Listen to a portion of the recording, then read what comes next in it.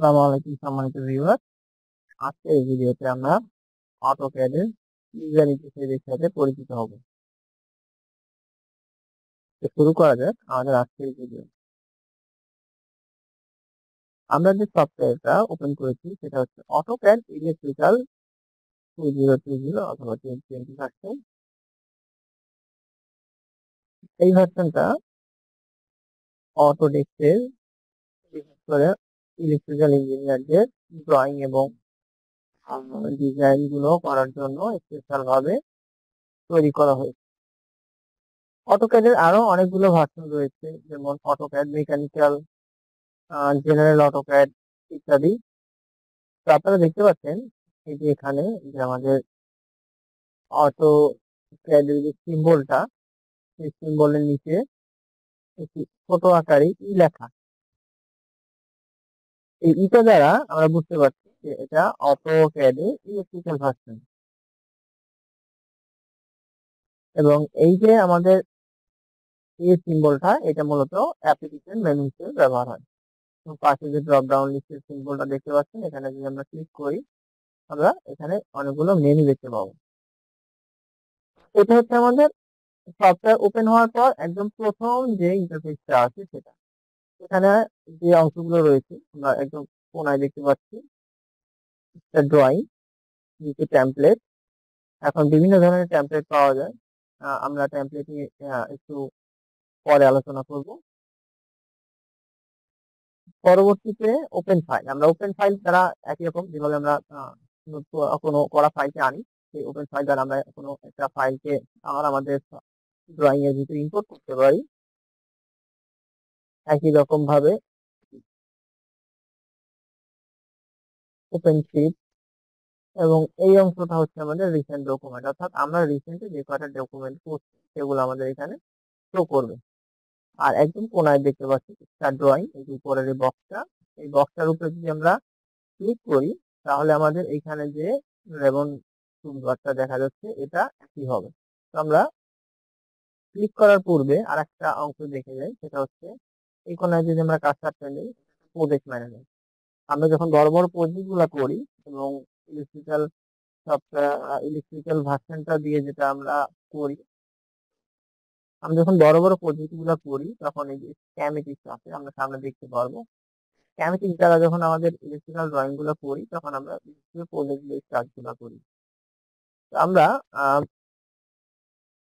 একটা page open করি, নতুন একটা পেজ আমরা ওপেন করি স্টার ড্রয়িং এ গিয়ে আমরা একটা ক্লিক করব।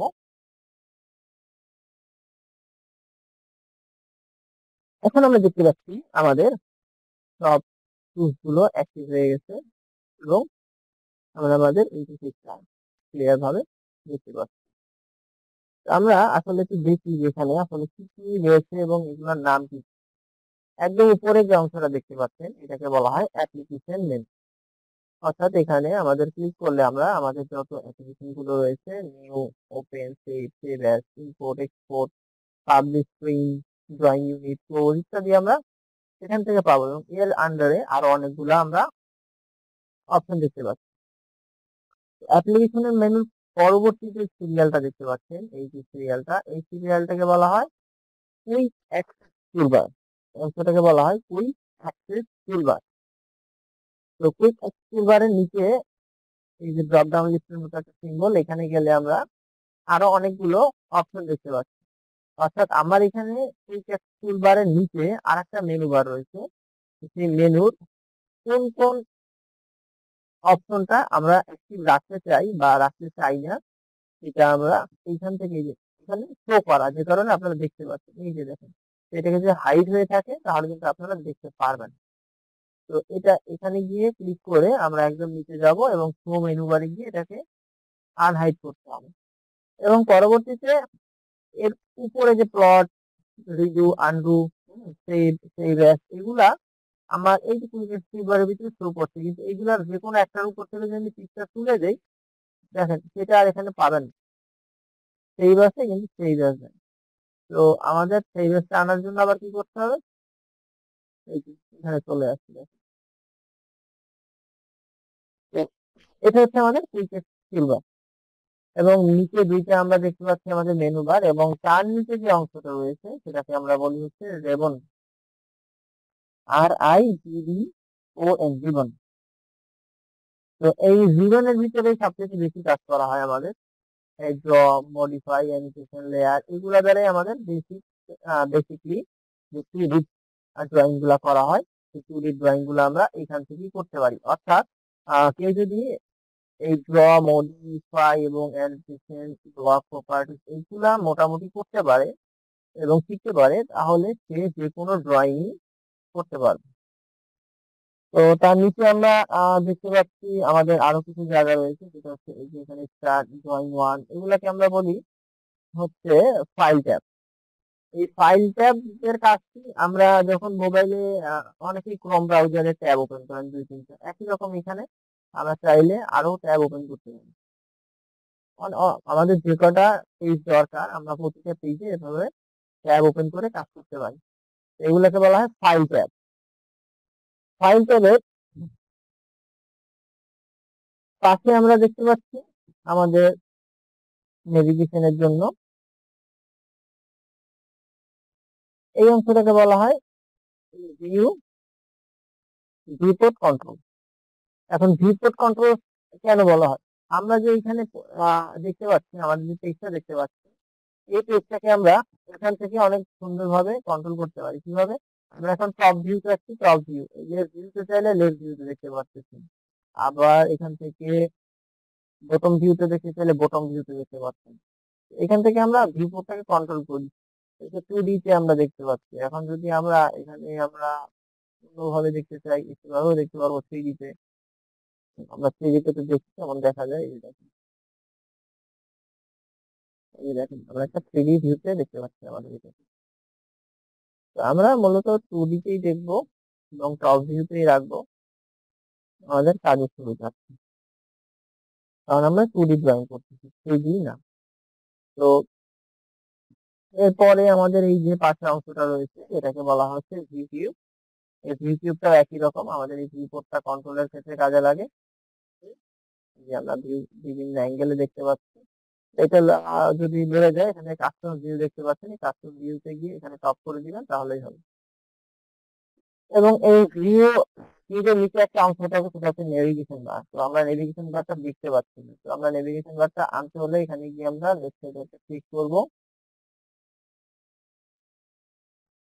করার পরে আমাদের এই যে নেভিগেশন টুলবারটা আন আন মানে আন ছিল, আমরা এটাকে এখান থেকে শো করলাম। এখন এখানে আমরা বাকি আমাদের নেভিগেশনের যে অপশনগুলো দেখছি, সেগুলো দেখতে পাচ্ছি পরবর্তীতে আমরা যদি একদম নিচে যাই, তাহলে এখানে আমরা দেখতে পাচ্ছি আমাদের একটা এক্স ওয়াই অরিজিন দেখা যাচ্ছে এক্স ওয়াই দেখা যাচ্ছে। এই দুটো আসলে কি? এই দুটো হচ্ছে এটাকে বলা হয় ইউসিএস আইকন অর্থাৎ এর ফুল মিনিং হচ্ছে ইউজার কোঅর্ডিনেট সিস্টেম এবং এই ইউসিএস আইকনের নিচে দেখা যাচ্ছে যে আমাদের একটা কমান্ড টাইপ এ কমান্ড হ্যাঁ এই অংশটাকে বলা হয় কমান্ড লাইন কমান্ড লাইন এবং এইখানে আমরা যত কমান্ডগুলা লিখি, সেগুলা আমরা আমাদের এইখানে ডাইনামিক ইনপুট দেখতে পাচ্ছেন। এই ডাইনামিক ইনপুট যদি আমরা বন্ধ রাখি তাহলে আমরা এখানে দেখতে পারব আমাদের সেই কমান্ডটা লেখা যাবে এই যে আমাদের এখানে চলে আসছে এবং আমাদের পাশাপাশি ডাইনামিক ইনপুট অন যদি থাকে, আমাদের এখানেও চলে আসবে।